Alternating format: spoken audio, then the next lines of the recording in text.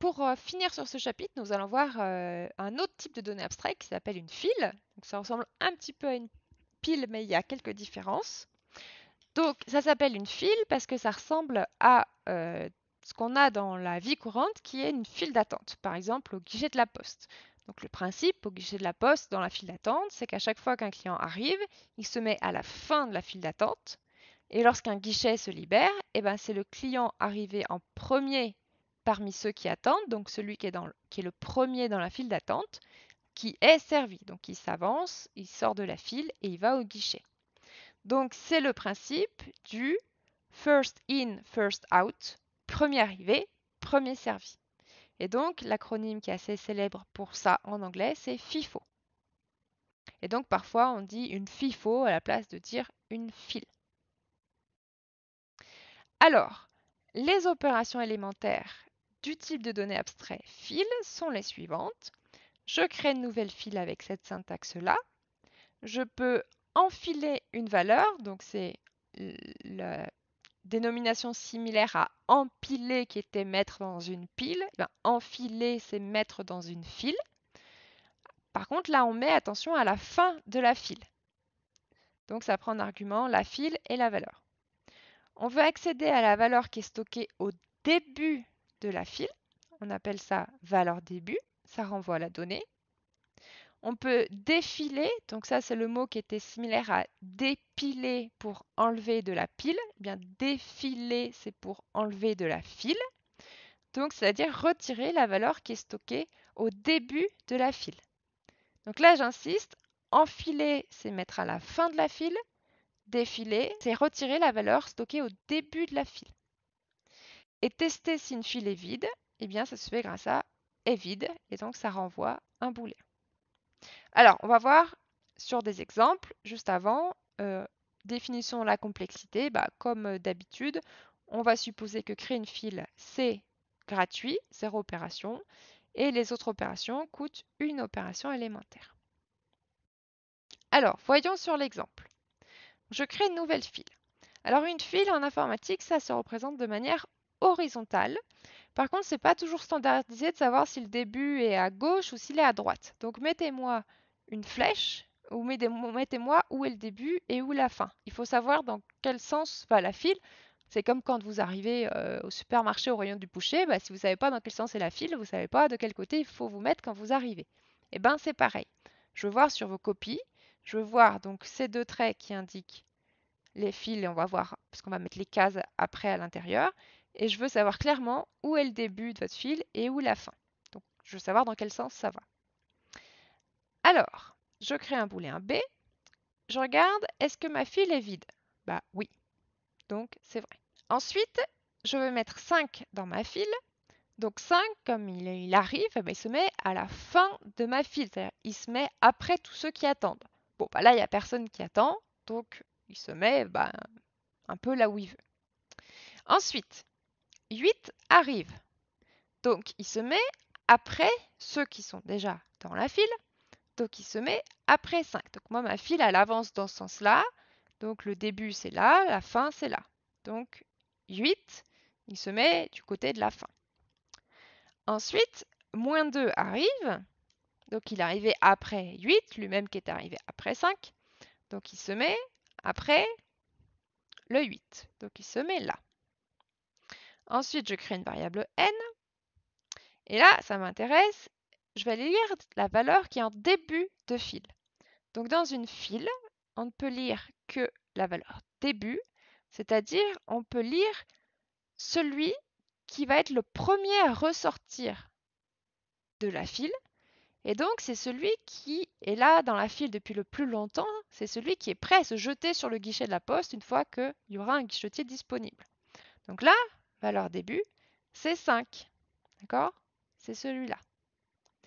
Ensuite, je défile F, donc j'enlève celui qui est au début, c'est-à-dire le plus ancien arrivé. Hop, donc c'est le 5 que j'enlève. Et ensuite, je regarde si F est vide, ben maintenant c'est faux. Et donc, voici l'état de ma mémoire à la fin. Donc, il faut bien que vous sachiez faire ces petits dessins ici pour décrire l'état de la mémoire après un exemple d'exécution d'opérations élémentaires sur les fils. Alors, remarque, on n'a pas d'opération élémentaire pour accéder à une donnée qui n'est pas au début de la file, ni pour savoir combien de données sont stockées dans la file. Comme pour les piles et comme pour euh, les listes avant, on suppose que les fils sont passés par adresse et non par copie. Donc ça veut dire qu'une fonction qui prend en paramètre une file peut la modifier réellement par effet de bord. Donc dans mon programme principal, si je crée une nouvelle file f, qui est ici, dans mon programme principal, et que je fais appel à la fonction rempli en lui passant l'argument f et 5, eh bien, rempli va travailler sur la réelle file f et non pas sur une copie de f, de la même façon que euh, en Python, une fonction qui prend en argument une liste va travailler sur la liste elle-même et non pas sur une copie de la liste et donc elle va pouvoir modifier par effet de bord la liste. C'est le même principe. Et donc pour i allant de 1 à 5, je vais pouvoir enfiler i. Donc je mets 1, puis 2, puis 3, puis 4, puis 5. Donc 1 est le plus proche du début et 5 est le plus proche de la fin puisque 5 c'est celui qui arrivait en dernier. Alors, voici un petit QCM pour voir si vous savez manipuler euh, les opérations élémentaires de fil. Donc, réfléchissez, choisissez votre réponse. Alors, c'est la 2, voyons voir pourquoi. Donc, je crée une nouvelle file. Je mets 6 dans ma file. Je mets 3 après le moins 6. Je lis la valeur de début. Donc, ma valeur de début, c'est le moins 6. Je stocke ça dans N. Je défile F, donc c'est le moins 6 qui s'en va, c'est lui qui est le plus près du début. Ensuite, j'enfile 7, donc il va se mettre après le 3, puisque le 3 attend depuis plus longtemps dans ma file d'attente. Ensuite, je défile F, donc c'est celui qui est là depuis le plus longtemps, celui qui est le plus proche du début qui s'en va, donc c'est le 3 qui s'en va. Ensuite, je lis la valeur de début, donc là c'est le 7.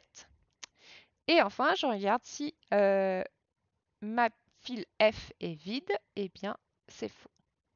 Et donc j'obtiens bien cela. Alors, maintenant on va voir un exemple d'application d'une file, c'est-à-dire dans quel cas d'usage est-ce qu'on pourra avoir besoin d'une file. Donc on va imaginer qu'on va gérer une sorte de playlist simplifiée de musique. Donc au début, on n'a aucune chanson en attente.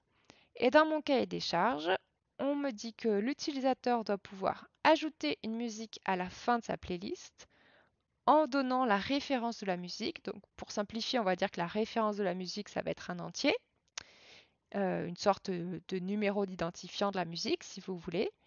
Et on me dit que l'utilisateur doit pouvoir passer à la chanson suivante dans euh, sa playlist. Alors, pour euh, simplifier, hein, on va supposer qu'il y a une sorte de mécanisme automatique qui diffuse en permanence la musique qui est en début de fil. Et on va pas faire de passage automatique à la chanson suivante. On va supposer que c'est à l'utilisateur de demander à chaque fois de passer à la chanson suivante. C'est très simplifié, hein. c'est juste pour vous montrer que une, file peut être utilisée dans ce genre de cas euh, de stockage d'informations les unes à la suite des autres. Alors, mon programme principal dans lequel je vais euh, du coup euh, avoir besoin de fonctions auxiliaires que j'écrirai juste après, je vais avoir donc un booléen quitté que j'initialise à faux, puisqu'au début, je ne veux pas quitter jusqu'à preuve du contraire. Une file f que je crée ici et un choix entier que j'initialise pas. Donc, tant que le booléen quitté euh, est euh, faux, je vais faire appel. Donc, alors, je fais appel à une fonction que j'appelle choix menu. Euh, je stocke ça dans l'entier choix. Si le choix est 1, donc ça sera décrit dans mon menu, il faudra passer à la musique suivante et pour ça, j'aurai besoin de passer l'argument euh, F qui est ma file.